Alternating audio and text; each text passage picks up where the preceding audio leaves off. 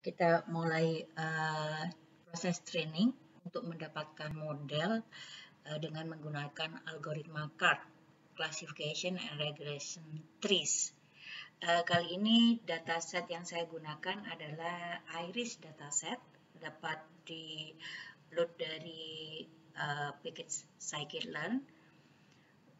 Ini untuk karena untuk contoh saya hanya mengambil 6 buah data saja di mana hanya satu fitur yang saya ambil yaitu kebetulan di sini adalah fitur petalengnya dan ada tiga kelas di situ ada kelas 0 yaitu ada kelas 0 di sini yaitu kelas uh, setosa dan ada kelas 1 adalah kelas versicolor dan yang kelas kedua adalah kelas uh, virginica.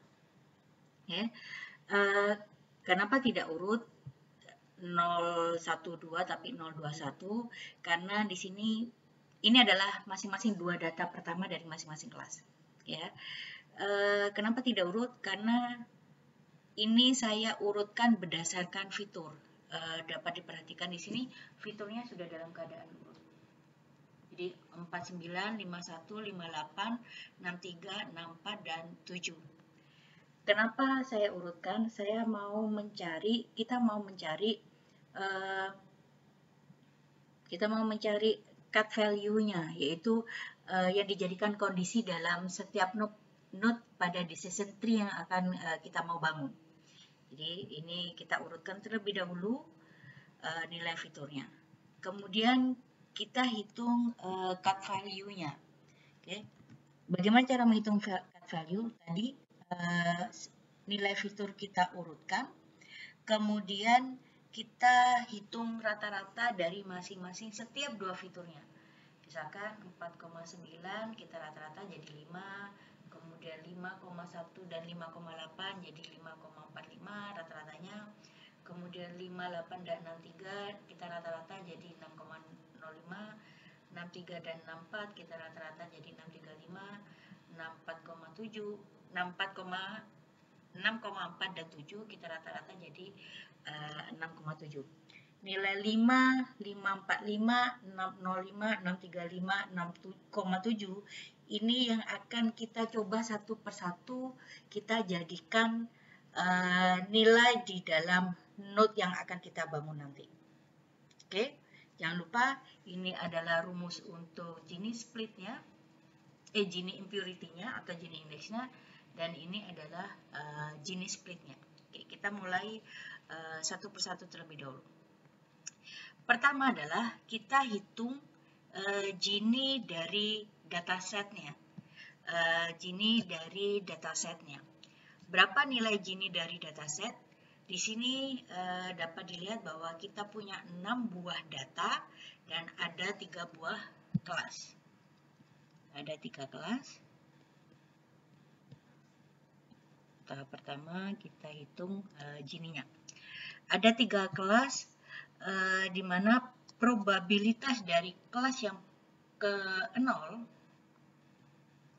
adalah jumlah data dari kelas 0 dibagi dengan jumlah keseluruhan data, yaitu 2 dibagi dengan 6 atau 1,1 per 3 gitu ya.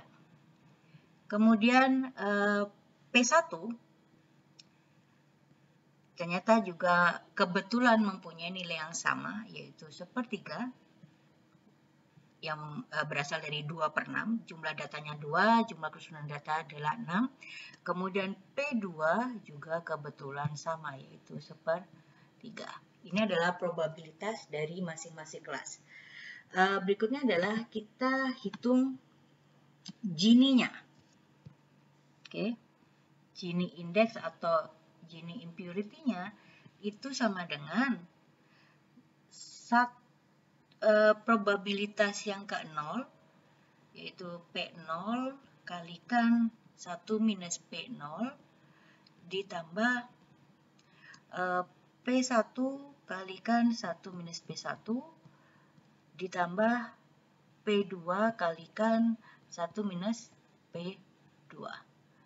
P0-nya adalah sepertiga dikalikan 1 minus P0 berarti 2 per 3 ditambah sepertiga juga kalikan 2 per 3 ditambah sepertiga juga kalikan 2 per 3. Oke, sehingga kita dapatkan Gini awal atau Gini index atau Gini impurity dari dataset kita untuk pertama kali adalah 3 kalikan sepertiga kalikan 2 per 3 itu sama dengan 2 per 3.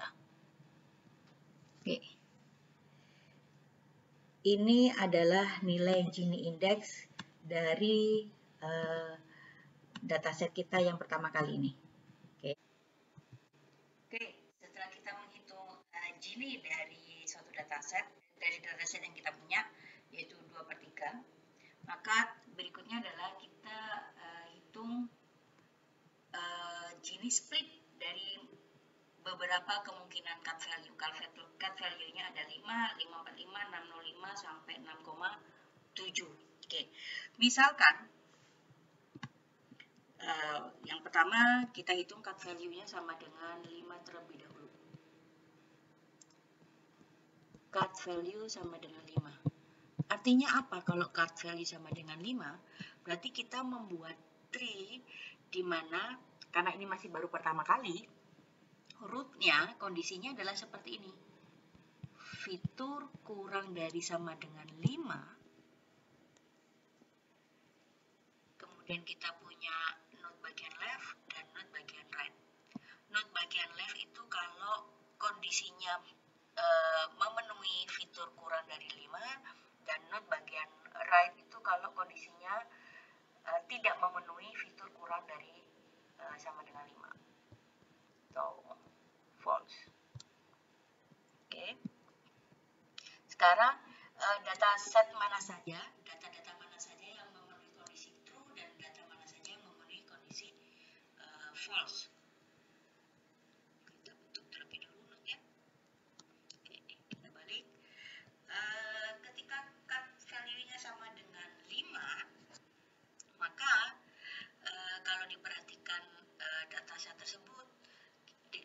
kita dapatkan bahwa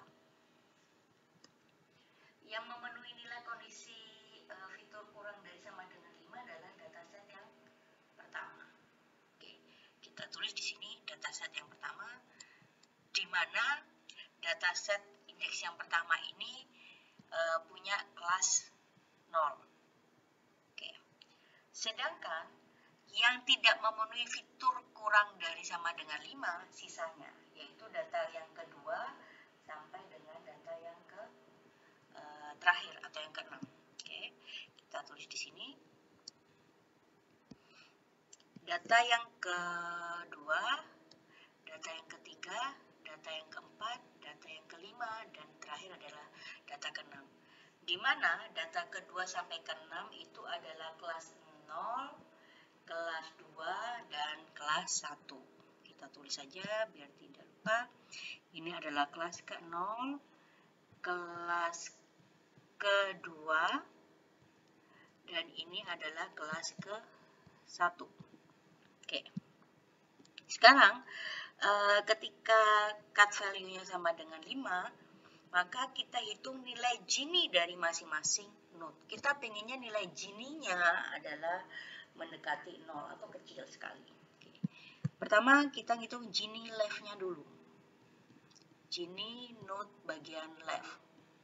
Kalau diperhatikan di sini berdasarkan uh, pemahaman kita mengenai Gini impurity atau Gini index, ketika datanya seragam, uh, semuanya adalah kelas yang sama, maka data ini adalah murni atau pure. Artinya kemungkinan kesalahannya adalah 0. So, nilai Gini-nya, Gini impurity atau Gini index-nya adalah 0. Oke, kalau kita mau hitung berdasarkan rumus, sama dengan P0 dikalikan 1 min P0, karena hanya ada kelas yang ke 0 saja. Probabilitas kelas 0 berapa? Jumlahnya 1, dan e, jumlah keseluruhan data adalah 1. So, 1 kalikan 1 minus 1 sama dengan 0. Oke. Berikutnya, kita ngitung Gini Right-nya. Sebelum ngitung Gini Right-nya, kita ngitung uh, probabilitas eh, masing-masing uh, kelas. Karena di dalam node bagian right ini ada tiga buah kelas, so kita hitung probabilitas masing-masing kelas. Kelas 0, kelas 1, dan kelas 2. P0-nya berapa? Jumlah datanya cuma satu untuk kelas 0. Jumlah keseluruhan data adalah 5. Oke, sedangkan P1 jumlah datanya adalah 2 dan jumlah keseluruhan data adalah 5. P2 juga 2 per 5. Oke. Kalau gitu Gini right-nya sama dengan P0 kalikan 1 min P0 ditambah P1 kalikan 1 min P1 ditambah P2 kalikan 1 min P2. Itu sama dengan 1 per 5 kalikan 1 minus 1 per 5 itu sama dengan 4 per 5 ditambah 2 per 5 kalikan sama dengan 3 per 5 ditambah 2 per 5 kalikan 3 per 5 kalau kita lihat ya, berarti Gini right-nya atau Gini impurity node right atau Gini index node bagian right itu sama dengan 4 per 25 ditambah 12 per 25 sama dengan 16 per 25 atau sama dengan 0,64. So, Gini uh, left-nya adalah 0, Gini right-nya adalah 0,64. Kalau gitu, Gini split-nya adalah Gini split itu sama dengan uh, Gini indeks dari dataset sebelumnya yaitu 2 per 3 dikurangi 2 per 3 dikurangi probabilitas dari uh, node bagian left PL kali Gini L P right P right kalikan Gini right.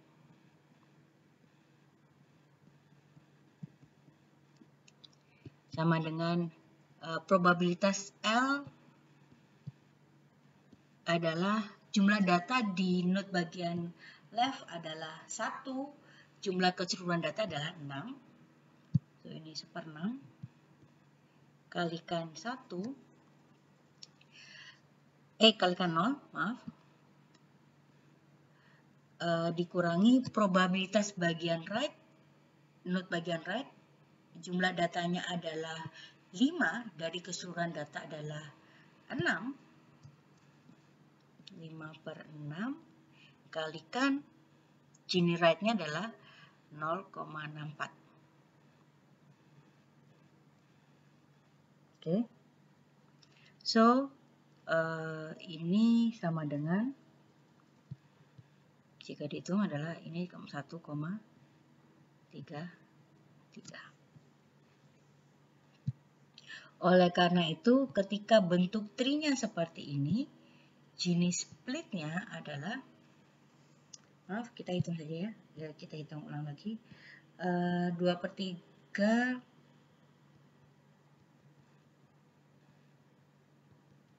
2 per 3 kali 1 uh, ini berarti 2 per 3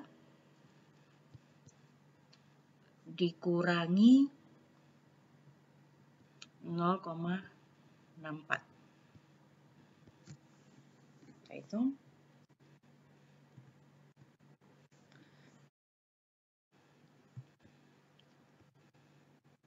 Oke, uh, berikutnya. Kita coba cek lagi kemungkinan cut value yang kedua yaitu cut value yang nilainya 5,45 oke kita lihat uh, yang kedua kemungkinan yang kedua.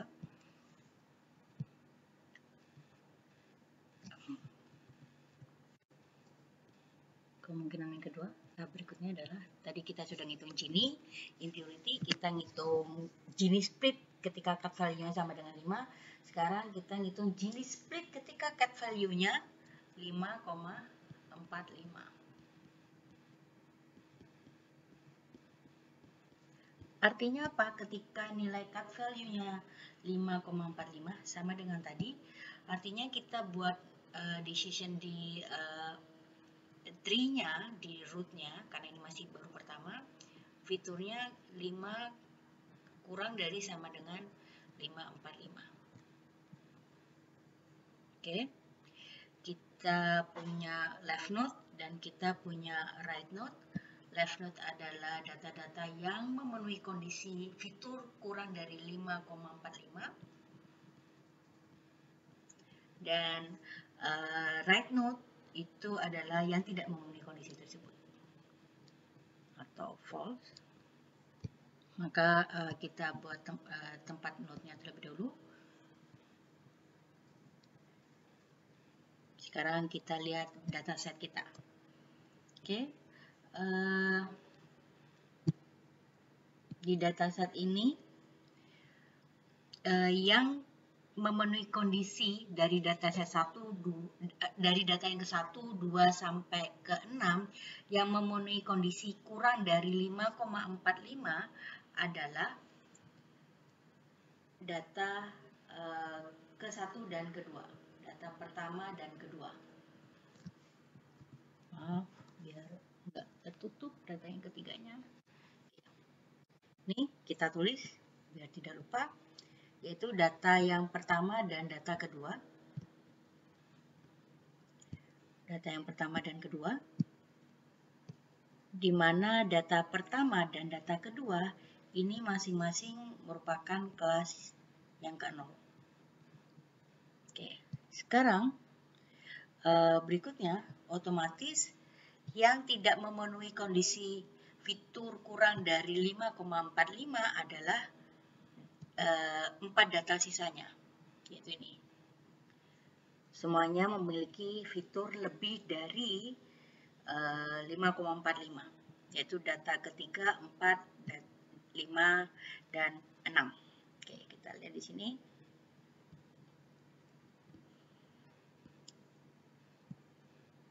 Kita tulis uh, yang masuk, yang tidak memenuhi kondisi fitur kurang dari 5 kurang dari atau sama dengan 5,45 adalah data ketiga, keempat, kelima, dan keenam. Di mana data ketiga dan keempat ini adalah kelas 2 dan 5 dan 6 ini data kelima dan keenam adalah data untuk kelas 1. Sekarang kita hitung jenis splitnya dari masing-masing node. Kalau seperti ini untuk Gini left hmm, sudah uh, tidak diragukan lagi bahwa nilai Gini left adalah 0 karena semua datanya masuk dalam kelas yang sama. Oleh karena itu kemungkinan salah bahwa kita mengassign data ini menjadi kelas ke 0, kemungkinan salahnya adalah 0 gitu ya, karena pasti benar. Berikutnya kita hitung uh, Gini right-nya. Sebelum kita hitung Gini right, kita hitung probabilitas kelas pertama, yaitu 2 per 4, karena ada dua data, dan jumlah data keseluruhan ada 4, sedangkan probabilitas untuk kelas kedua adalah 2 per 4 juga.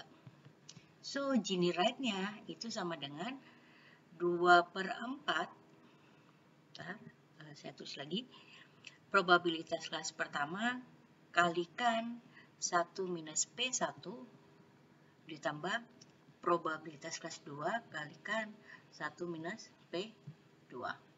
Oke, probabilitas kelas pertama adalah 2 per 4 dikalikan 1 minus 2 per 4, yaitu 2 per 4 itu sendiri.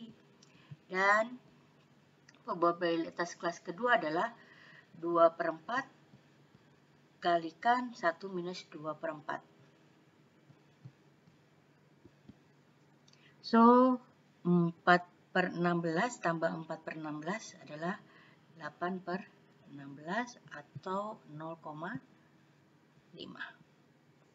Oke, kemudian kita hitung jenis splitnya.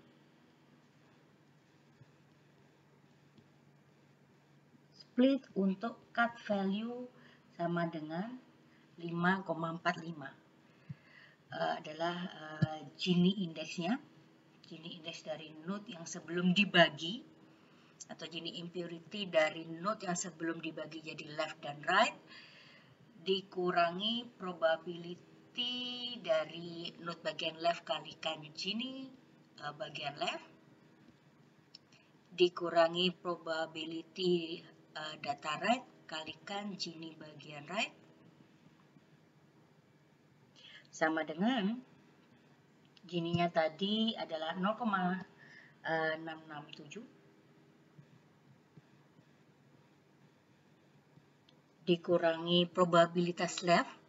Probabilitas left adalah jumlah data di node bagian left yaitu 2 dan jumlah keseluruhan data adalah 6. So, ini adalah 2 per 6 kalikan 0 dikurangi probabilitas bagian right, probabilitas data untuk node right, jumlah datanya adalah 4, jumlah keseluruhan data adalah 6. So, ini adalah 4 per 6 kalikan Gini right-nya adalah 0,5. Sama dengan 0,667 dikurangi 0 dikurangi 0,33 sama dengan 0,33. Oleh karena itu, split jenis split untuk bentuk tree seperti ini atau bentuk tree dengan cut value sama dengan 5,45 adalah jenis splitnya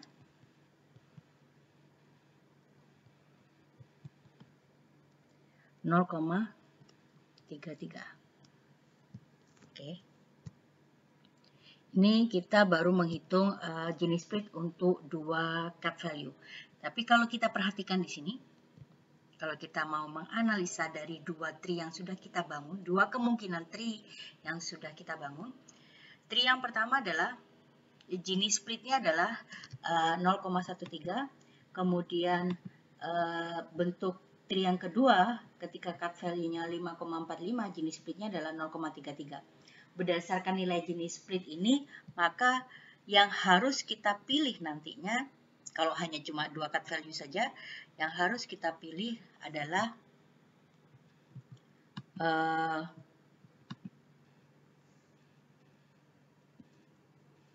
ini. Kalau hanya dua cut value ini ya, kalau kita belum menghitung yang lain. 0,33. Kalau kita lihat uh, kalau kita lihat dari sisi tree yang kita bangun, kita lihat yang pertama ini, ketika cut value-nya sama dengan 5, kita akan membagi dua data yang terletak pada node bagian kiri dan dua data yang terletak pada node bagian kanan. Pada node bagian kiri, benar, ini Gini impurity-nya 0. Karena hanya ada satu kelas saja. Tetapi kalau kita lihat di node bagian kanan, Gini impurity-nya besar, yaitu 0,64. Kenapa? Karena di node bagian kanan ada tiga buah kelas di sana, bercampur jadi satu. Kelas 0, kelas 1, dan kelas 2. Sedangkan ketika sedangkan ketika cut value-nya itu sama dengan 5,45, kita membagi dua node kiri dan kanan, benar memang node sebelah kiri itu Gini impurity-nya 0 sama dengan tadi ya, tree yang pertama. Dan e, node yang sebelah kanan Gini impurity-nya lebih rendah dibandingkan dengan Gini impurity dari yang sebelumnya. Kalau yang sebelumnya adalah Gini impurity-nya 0,64, Gini impurity yang ini adalah 0,5. Kenapa seperti itu? Kita lihat tadi tri yang pertama, node sebelah kanan ini ada tiga buah kelas. Ada data dari tiga buah kelas berada di dalam node yang sama. Sedangkan yang ini hanya ada dua buah kelas saja pada node yang sama. Oleh karena itu, ini lebih pure dibandingkan uh, tri yang pertama. Sehingga jenis splitnya itu lebih besar dibandingkan tri yang pertama. Satunya 0,33 dan satunya 0,13. Uh, proses ini kita hitung terus-menerus sampai uh, gini uh, sampai cut split yang terakhir yaitu cut split 6,7. Jadi nanti kita uh, bangun 5 kemungkinan tree dan kita cari cut value yang uh, terba yang memiliki jenis split yang paling besar. Oke. Okay. Kalau dihitung nanti mungkin bisa dihitung ternyata uh, yang memiliki jenis split yang paling besar adalah ketika cut value-nya adalah 5,45. Jadi ini yang akan kita ambil. Oke, okay. so bentuk uh, bentuk tree kita untuk uh, hanya satu fitur dan enam buah data saja untuk iterasi pertama adalah seperti ini.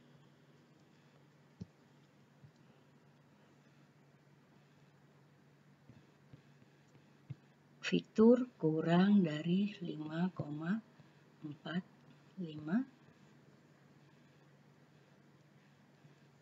ini adalah kelas ke kelas ke 0 atau tadi kelas ke 0 adalah uh, kelas apa ya tadi? Setosa. Kelas ke 0 kita tulis kelas ke 0 aja kelas 0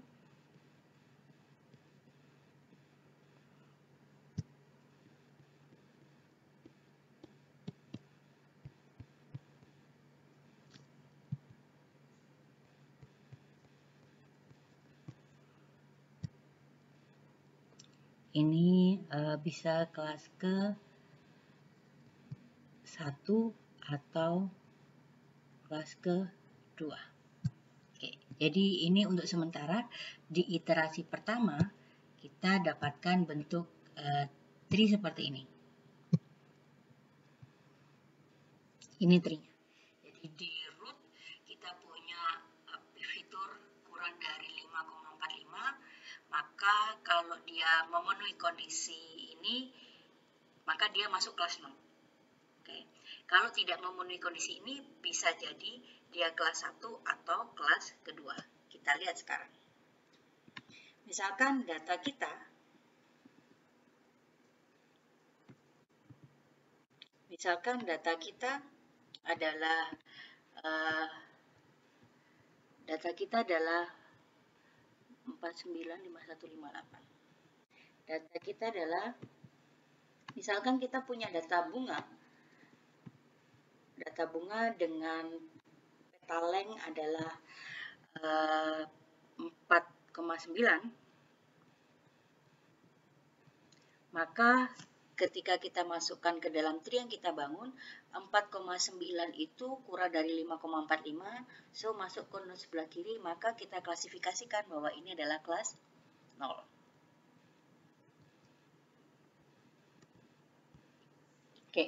Tetapi kalau kita punya data dengan peta length sama dengan 5,8, kita masukkan ke uh, tree yang kita bangun untuk sementara, ternyata masuk ke node sebelah kanan dan ini masih kita belum tahu ya apakah dia kelas 1 ataukah kelas 2. Itu ya. Kita perlu lakukan terus-menerus sampai level mau kita mau sampai berapa level. Kalau ini cuma depth-nya kedalaman tree-nya cuma sama dengan 1.